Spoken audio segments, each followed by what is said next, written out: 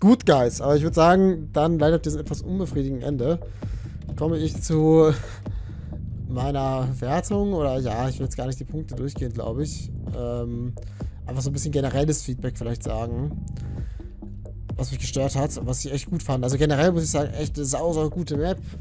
Hat wirklich sau Bock gemacht hier zu spielen. Also muss ich schon sagen. Ähm, einfach coole Ideen, die Sachen sind mega gut umgesetzt. Ich finde dieses Phasmophobia-Prinzip eh extrem cool. Ja, wirklich eine tolle Idee und die hier so umgesetzt in Adventurecraft zu sehen, ist natürlich auch mega gut. Und es ist halt auch echt gut umgesetzt, finde ich. Also die, äh, die Ideen für die Items stimmen halt, also für die Tools, die man quasi hat.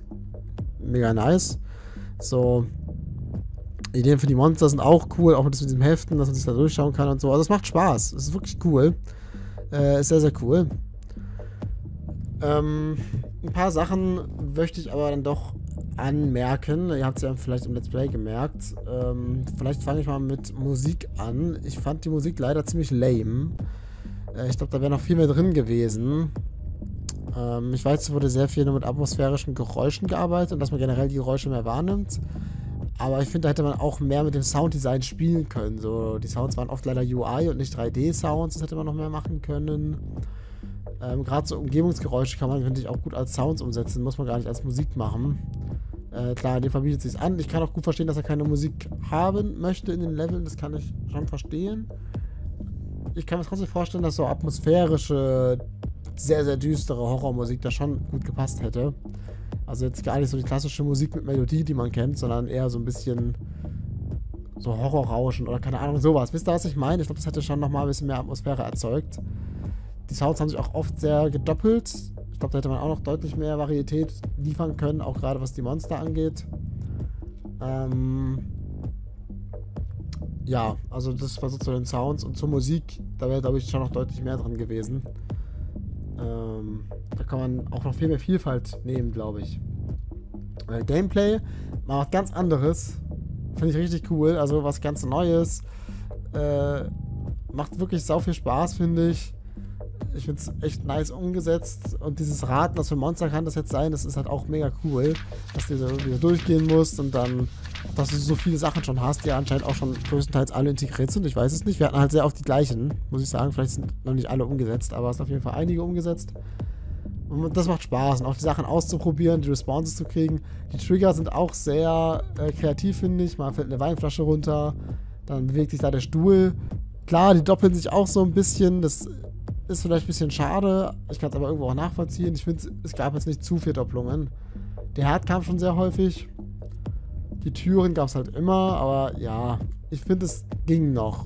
Also es ist schon Oberkante. Ich finde, mehr doppeln dürfte sich jetzt nicht. Aber es ging noch. Ähm, ja, was von Gameplay ein bisschen gestört hat, war, wie gesagt, habe ich oft angesprochen, dass dieses Aufzeichnen der paranormalen Aktivitäten viel zu lange gebraucht hat. Also da hat er zwischendurch, hast du auch mal eine Minute gewartet und es ist gar nichts passiert. Und das finde ich einfach viel zu lang. Ähm, also da muss irgendwie dran gearbeitet werden. Entweder hier die Zahl runterstellen, dass man nicht sechs Stück braucht, weil man muss ja auch, um rauszukriegen, was für ein Viech das ist, gar nicht aufzeichnen. So, also eigentlich ist es egal, was ich aufzeichne oder ob sich da der Stuhl bewegt oder nicht, weil das machen ja alle Viecher. So, also ich finde, das ist aktuell noch ein bisschen unverknüpft mit dem restlichen Gameplay. Im Grunde hat es nichts damit zu tun, was du in dem Haus für seltsame Sachen siehst und was dort passiert und was für ein Viech du später hast. Weil alle Viecher machen dieselben Sachen im Haus. Wisst ihr, wie ich meine? Und das ist ein bisschen schade. Wenn ich jetzt wüsste, okay, das eine Viech schaltet den Herd an, das andere zeigt sich vielleicht auch mal. Das mit dem Appetitischen habe ich ja bis jetzt nicht verstanden, leider. Ähm, ja, das, das finde ich ein bisschen blöd. Und das ja, macht für mich das Gameplay da ein bisschen nach unten. Ähm, weil deswegen, jetzt musste ich ja auch die Mission auch mal spielen hier. Hab, hab die ein paar Mal gespielt. Es hat wirklich ewig lang immer gedauert, bis ich diese Six Paranormal Activities aufgenommen hatte. Und im Grunde braucht man sie ja gar nicht zur Identifizierung. So, das ist so ein bisschen mein Punkt. Ich weiß nicht, ob ihr das verstehen könnt, aber ich denke schon. Ähm, dann finde ich, dass manche Tools ein bisschen äh, gewöhnungsbedürftig funktionieren. Zum Beispiel jetzt mit dem Transceiver gerade fand ich sehr unfair. Also ich habe den wirklich lange eingesetzt und es hat nicht funktioniert oder ich habe keine Response bekommen. Generell dauert es beim Transceiver auch davor, hat es echt meistens sehr lange gebraucht, bis da eine Antwort kam. Ähm, zum Beispiel beim Salz ging es sehr schnell, da kam immer sofort die Antwort. Beim Kompass musst du halt wissen, dass du immer darauf warten musst, bis was passiert, bis du eine paranormale Aktivität hast und dann musst du schauen, ob es aussteckt oder nicht. Wusste ich aber am Anfang auch nicht, deswegen fand ich das auch schwierig. Paper ist sehr eindeutig, da gibt es nichts zu meckern. Salz ist sehr eindeutig und Candle wahrscheinlich auch, das hatten wir halt leider gar nicht. Ähm, ich finde es cool, dass die Sachen zufallsgeneriert werden. Dadurch kannst du halt nicht so, wie ich es am Anfang irgendwie per Zufall dann Glück hatte, einfach sagen, das ist die Entität, fertig. Und wenn du es halt verkackt hast, dann weißt du, was es ist für eine. Das ist ein bisschen schade. Äh, aber das, das, ist eben nicht gemacht worden, das finde ich gut. Ja, das fand ich richtig nice. Ähm, ach, schaut mal, hier sind die einzelnen Trigger wahrscheinlich. Ja. Und die werden dann halt random abgerufen. Also das Prinzip finde ich wirklich mega cool mit diesen paranormalen Aktivitäten. Das ist auch echt cool umgesetzt. Es sind einfach zu wenige, würde ich sagen. Es müssten mehr sein und die müssten häufiger nacheinander kommen. Äh, ja, aber ich finde gerade die Atmosphäre, die aufgebaut wird, ist ultra stark. Äh, wobei, da komme ich dann später dazu. Also wirklich Gameplay finde ich cool, bis auf die paar angesprochenen Sachen. Apparitions weiß ich halt bis jetzt nicht, was es eigentlich bedeutet. Ähm, also ich glaube, ich fände die Idee ganz cool, wenn er in einem kurzen Tutorial, das muss ja gar nicht lang sein, das dauert ja wahrscheinlich fünf Minuten oder so, einfach mal jeden Trigger vorstellt. Ja, dass er sagt, okay, so sieht es aus, wenn du eine Papierantwort kriegst. Weil Papier ist jetzt wirklich sehr eindeutig. Oder so sieht es aus, wenn du äh, hier von dem Teil halt eine Antwort kriegst, ne? Und so sieht es aus, wenn der Kompass durchdreht. Dass du halt von jedem Mal so exemplarisch gezeigt bekommst, so sieht es denn aus, wenn das äh, sich zurückmeldet. Weil dann wüsste ich jetzt auch, was das Apparitions ist, zum Beispiel, ne? Ähm, oder dass man halt auch so ungefähr gesagt bekommt, okay, bei dem Receiver muss halt das und das machen, um das zu triggern. Also, dass du halt irgendwie eine Idee bekommst, weil so jetzt, wie gesagt, das war das, was ich ein bisschen fehlen fand manchmal, die Information, wie ich denn bestimmte Antworten manchmal bekomme. Wie gesagt, bei manchen war es sehr eindeutig, Papier war immer eindeutig. Das Ding auch, man wusste, wie es funktioniert. Candle und Salz sowieso. Das hat, hat mich einmal verarscht, das Transceiver-Ding, das fand ich ein bisschen schade. Aber sonst war es ja schon eindeutig. Dann natürlich der Bug, dass man stirbt, dass dann gar nichts mehr funktioniert. Das ist sehr, sehr blöd. Das muss unbedingt gefixt werden, weil dadurch kannst du halt, ja, wenn du halt einmal stirbst, was ja nicht so unwahrscheinlich ist, äh, kannst du tatsächlich gar nicht mehr die Map weiterspielen. Und das ist, ist schade. Dann ist komplett, komplett gebroked. Musste ich auch mal ein Safe neu anfangen. Das finde ich ein bisschen blöd. Ähm, ich finde, die Maps könnten noch ein bisschen unterschiedlicher sein. Also ich fand die Abwechslung mit der Schule sehr cool, aber sonst waren die Häuser schon alle recht ähnlich und halt vom Setting auch das gleiche. Ne? Ich finde es kein Problem, wenn man jetzt so zwei, drei Häuser hat und dann noch um, drei andere Settings. Aber ich glaube, wir hatten wirklich vier oder fünf Häuser und auch die Schule und dadurch, ja, ist so ein bisschen der Grusel am Ende raus gewesen. Also die Schule fand ich zum Beispiel echt super gruselig am Anfang dann, obwohl die ja auch erst relativ spät kam. Und generell am Anfang fand ich es natürlich viel gruseliger, weil ich nicht wusste, äh, wie bewegen sich die Viecher, wie zeigen sich die Trigger und so. Da war halt noch alles ganz ungewiss. Natürlich, wenn man es nicht kennt, ist es deutlich gruseliger, als wenn man dann nach und nach rausfindet, aha, so funktioniert das Spiel. Ist klar, ist natürlich, deswegen fand ich es am Anfang wirklich sehr gruselig. Äh, Hat es wirklich sehr Bock gemacht. Jetzt am Ende hat es mich eher ein bisschen genervt, äh, dass die Trigger immer so lange gebraucht haben. Und diese, die Jumpscares fand ich wirklich sehr, sehr unnötig. Also da würde ich in echt raten, die rauszunehmen oder irgendwie anders einzubauen. Ich finde die an sich okay. Zum Beispiel, wenn du von einem Viech gejagt wirst und da kommt irgendwie ein Sound oder wenn es nah an dir dran ist, dann machst du halt einen Jumpscare hin oder keine Ahnung, sowas. Aber die war ja einfach komplett random und hatten gar nichts mit dem Spiel zu tun. Das fand ich irgendwie total lame. So, die haben die einfach kurz erschreckt und das war's. Aber es war halt einfach nicht cool. Und du weißt halt, es ist, glaube ich, wirklich so, wie ich gesagt, gesagt habe. Es ist einfach ein Random-Counter, der hochzählt bis zu einer zufälligen Zahl und wenn die erreicht ist, dann kommt halt dieser Jumpscare. Und das Bild hat, hat, hat auch nichts damit zu tun. Ich habe in der Schule auch insgesamt, glaube ich, drei Jumpscares bekommen in all meinen vier Versuchen. Und es war halt immer uncool. Also das fand ich irgendwie unnötig. Würde ich echt ihm raten, das rauszunehmen. Aber das bietet keinen Spiel, äh, Wiederspielwert. Oder halt, ich würde mir überlegen, wie kann ich die Jumpscares besser einbauen. Ich finde ja Jumpscares in einer Horror-Map logischerweise nicht schlecht. So, wenn sie halt gut gemacht sind und äh, zum Spiel passen. Aber das hat halt einfach nur gar nicht reingepasst. War super random. Ja, weiß nicht, ob ihr das anders wahrnehmt oder sagt, nö, das war voll cool und soll auch ruhig drin lassen, das ist ja eine Horror-Map. Aber das ist für mich halt kein guter Jumpscare oder kein guter Horror. Aber der Horror finde ich eigentlich sehr gut bei der Map. Ja, das Prinzip macht wirklich Spaß. Ich meine, Phasmophobia, daher kommt die Idee, ist ja wirklich auch ein cooles Spiel. Äh, und ja. Also das waren so meine größten Kritikpunkte am Gameplay, würde ich sagen. Trotzdem finde ich das Gameplay echt stark. Ähm, wie gesagt, ich glaube, er muss aufpassen, damit es sich nicht zu oft wiederholt, dass er entweder mehr unterschiedliche Viecher noch macht. Wir hatten eigentlich sehr oft Rev und Poltergeist. Das waren auch die einzigen beiden, die wir wirklich mal besiegt haben. Ich glaube, einmal hatten wir noch Lotus, was ich nicht erkannt habe. Und das war es aber, glaube ich, auch. Oder, ah ne, Fiend hatten wir noch einmal, was ich auch nicht erkannt habe. Also vier verschiedene Viecher kamen jetzt. Weiß nicht, ob ich da nur Pech hatte und halt zufällig immer die gleichen Viecher hatte. Vielleicht ist der Rest auch noch nicht umgesetzt, ich weiß es nicht. Ähm, genau, ich glaube, wenn die Map noch länger wäre, müsste man aufpassen, dass es nicht zu langweilig wird. Also wenn jetzt nochmal ein Haus käme, wäre es jetzt irgendwie echt gar nicht mehr so spannend. Also ich glaube, da müsste man halt mit Setting noch mehr aufpassen und da noch ein bisschen variabler sein. Aber an sich geht es echt schon in eine sehr gute Richtung. Das mit dem Licht war auch komisch, dass das gar nicht funktioniert hat. Weiß ich auch nicht, ob das so gewollt war oder nicht. Keine Ahnung. Ähm, genau, also das wären so meine Gameplay-Kritikpunkte. Ähm, Design war okay, aber ihr seht ja schon, wann hier lang geht. Es ist sehr minimalistisch gebaut, äh, wenig detailreich. Auch die Innenräume, finde ich, kann man noch ein bisschen mehr ausbauen. Es ist schon ganz cool gemacht. Äh, ich finde, es kann trotzdem noch ein Ticken detailreicher sein. Mm, aber klar, es gibt schon so ganz coole Models wie den Duschkopf und sowas. Das finde ich total cool gemacht. Und bietet sich auch als Trigger voll gut an. Äh, gerne mehr in die Richtung.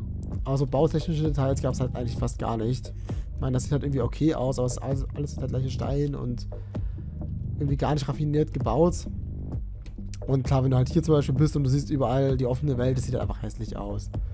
Und halt komplett unauthentisch. Und das nimmt dann natürlich auch nochmal ein bisschen Grusel raus. Gut, Story gibt's nicht. Kann man nichts bewerten. Atmosphäre fand ich sehr, sehr gut. Könnte, glaube ich, aber wie gesagt, durch die angesprochenen Punkte Musik, Sounds, Bauten und auch Texturen teilweise, da komme ich gleich noch dazu, finde ich, könnten noch, noch besser sein in der Atmosphäre. Gerade weil dann auch, wie gesagt, die gleichen Sounds, die immer verwendet wurden und so.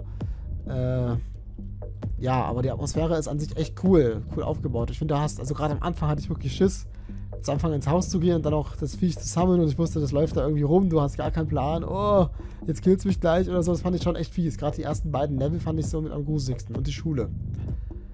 Ähm, ja, das, also Atmosphäre macht's, macht schon richtig, aber da kann man auch noch ein bisschen durch die angesprochenen Punkte, denke ich, noch trotzdem noch was verbessern und noch einiges drauflegen. Ist, glaube ich, schon noch mehr möglich. Spielzeit ist ja, in Ordnung für eine Horror-Map. Es gäbe jetzt halt noch wahrscheinlich ein paar mehr Ideen, die man hier machen könnte. Äh, ja, also es ist ja auch nicht die Vollversion. Und ja, ich kann verstehen, dass es keine Story gibt. Könnte man irgendwie schon einbauen, aber es ist natürlich schwierig mit den random Viechern oder so. Also ich glaube, man kann schon was erzeugen. Und ich glaube, wenn man das noch länger macht, dann bräuchte man irgendwie auch eine Story. Also wenn es jetzt halt noch zehn weitere Missionen gäbe, alle in diesem Stil, hätte man, oder hätte ich vielleicht irgendwann nicht mehr die Motivation weiterzuspielen. Also, ja, weil dann würde mir irgendwie was fehlen. So, und vielleicht so eine Story würde, könnte man sich schon überlegen, die einzubauen. Doch, ich würde denken, es klappt schon. Aber es ist natürlich schwierig, ähm, mit dem Prinzip eine krasse Story zu machen. Ich meine, Phasmophobia ist ja auch ein Multiplayer-Spiel. Und klar, wenn du so ein Multiplayer-Spiel hast, auch jetzt wie Mario Kart oder keine Ahnung was, dann ist natürlich Story nochmal ein ganz anderes Thema. Äh, deswegen. Ja. ist das eh nochmal was anderes. Bei Phasmophobia, also beim, beim, beim Original. Hier ist es ja auf jeden Fall ein Singleplayer-Spiel. Ähm, ja, also weit so gut. Charaktere finde ich echt cool. Ja, also ich finde diese Sachen hier sind sehr cool beschrieben. Ah, was ich noch sagen wollte, ich fände es cool, wenn die noch ein bisschen gemodelter wären. Ich fand, das hat auch so ein bisschen den Grusel dann rausgenommen, weil am Anfang wusste ich ja gar nichts. Und als man dann die eigentlichen Models gesehen hat, war ich so, okay, ist schon jetzt gar nicht mal so gruselig, vielleicht. Ähm, klar, es ist schwierig jetzt irgendwie zum Beispiel das Teil gut zu modeln, aber ich denke, die Art würde sich sehr lohnen. Oder so ein Phantom oder sowas hier, keine Ahnung. Ich glaube, durch Models kann man da deutlich, deutlich auch nochmal Atmosphäre viel mehr erzeugen. Da kriegst du noch viel mehr Schiss, wenn da wirklich nicht so ein Minecraft-NPC vor dir steht, sondern plötzlich ja eigentlich die Augen irgendwie krass oder so. Ich könnte mir auch einfach zwei Boxen machen oder wirklich irgendwie, man kann ja auch versuchen, runde Boxen in der Art zu erzeugen. Äh, also da wäre, glaube ich, noch viel mehr möglich gewesen. Und durch Animation und so, das ist dann der nächste Punkt dann schon, übernächster Texturen, wäre auch noch mehr drin gewesen. Aber ja, also ich finde, Charaktere sind eigentlich cool gemacht, ne? Jetzt wird hier cool beschrieben und du hast dann auch ein bisschen Schiss vor denen und so, das ist schon ganz nice. Haben aber natürlich wenig Hintergründe, Tiefgründigkeit hat es eigentlich gar nicht. Ähm, ja, so, das war so als grundlegende Sache. Inszenierung finde ich sehr, sehr cool gemacht. Also gerade natürlich ist inszeniert Phasmophobia eindeutig. Und es inszeniert wirklich sehr, sehr gut. Ja, wie gesagt, bis auf die angesprochenen Punkte, die sind noch verbesserungswürdig. Aber insgesamt finde ich die Inszenierung top. Und Texturen, ja, geht auch noch mehr. gibt schon ganz coole Sachen, aber es gibt auch teilweise eben sowas hier, oder so normal aussehende Stühle oder so. Und das ist irgendwie unnötig. So, warum hat er die Textur nicht davon auch noch geändert, wenn er alle Texturen ändert?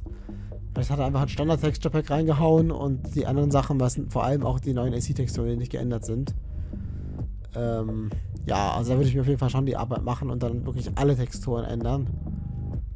Weil sonst sieht es irgendwie auch ein bisschen lächerlich aus. Oder ich finde, das wirft dann halt so ein bisschen raus. Was ich gerade auch in so einer Horror-Map oder generell für Atmosphäre wichtig finde, ist, dass es halt authentisch wirkt. So, und es wirkt halt total unauthentisch, wenn du hier in so einem Haus bist, was echt gruselig aussieht. Und dann kommst du hier, gut hier jetzt nicht, aber dann kommst du in irgendeinen Raum und es sieht halt plötzlich voll komisch aus. Äh, Beispiel hier, ja, das ist plötzlich so ein gepixelter Stuhl oder so, denkst du so, hä? okay, es ist schon sehr, äh, unreal, keine Ahnung. Ja, also das finde ich ein bisschen schade. Ähm, denke, da kann, kann man echt noch ein bisschen was rausholen und bin gespannt, wie das noch weitergeht. Äh, bin generell gespannt. Ich glaube, der Entwickler arbeitet ja auch noch sehr intensiv dran. Ich meine, er hat das auch echt schnell aufgebaut hier, also dafür Props. Item-Texturen kann man, glaube ich, auch noch verändern. Oder die, die Herzen und so. Also da ist auch noch mehr drin. Ähm, ja, aber an sich in all, also alles in allem echt eine sehr coole Map. Hat mir richtig Spaß gemacht. Hat mich auch echt überrascht. Ich habe nicht gedacht, dass sie so gut ist. Dass sie schon so coole Features hat. Auch hier die Kamera war echt cool inszeniert. Wobei, könnte man auch sagen, Batterieanzeige hat es oben. Von der Taschenlampe ist die Batterie nach gefühlt 10 Sekunden leer. Das Teil hält unendlich. Ja. Und ich dachte halt am Anfang, dass es halt auch Sachen gibt oder Geister, die ich halt nur auf der Kamera sehe. Gab es ja im Endeffekt bisher auch nicht. Das wäre auch noch eine Idee, die man einbauen könnte. Also ja, wirklich eine coole Map. Sehr überraschend. Ja, sieht es ruhig als kleines Halloween-Special an, weil es jetzt auch ein bisschen länger war. Äh, weiß nicht genau, wann es rauskommt. Wahrscheinlich schon eher davor. Vielleicht mache ich auch noch was anderes zu Halloween, aber ich glaube schon so, dass das garantiert die Adventurecraft Horror Map des Jahres wird. Ähm, und warum nicht? Kann man doch schon als Halloween-Special machen, auch wenn es gar nicht so geplant war am Anfang. Aber ich fand es wirklich gruselig. Also spielt es gerne selber mal, das ist bestimmt noch was anderes. Gut, wenn ihr es jetzt natürlich von mir kennt, dann nimmt es echt schon mal viel Grusel raus. Also eigentlich müsste man halt die Map erst selber spielen und sich danach irgendwas anderes dazu anschauen. Weil dann ist es halt deutlich gruseliger. Ähm, genau, also das waren jetzt so meine Kritikpunkte. Finale Wertung könnt ihr in der Tabelle gerne nachschauen. Ich bin gespannt, was der Entwickler sich hier noch so für die nächsten Versionen einfallen lässt, ob er die Kritik äh, auch so ein bisschen umsetzt. Und ja, dann war es es von mir. Schreibt gerne eure Meinung zu der Map in die Comments. Und dann bis zum nächsten Mal hier bei AdventureCraft Adventure Maps. Haut rein!